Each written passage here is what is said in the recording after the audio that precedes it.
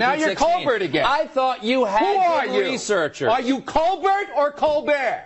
Tired of news programs that only give you one side of the story or the other? Well, he'll give you neither.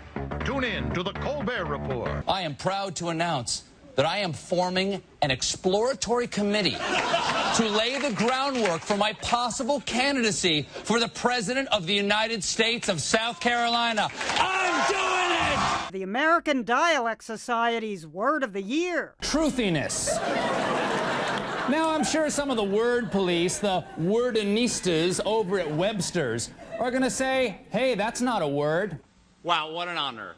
The White House Correspondents' Dinner. To actually, to, to sit here at the same table with my hero, George W. Bush. To be, to be this close to the man.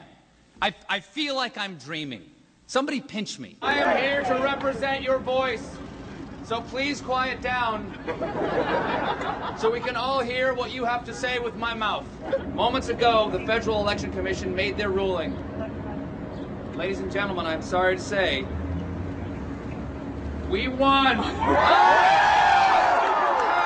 And so can you. Good morning. My name is Stephen Colbert, and I am an American citizen. It is an honor and a privilege to be here today.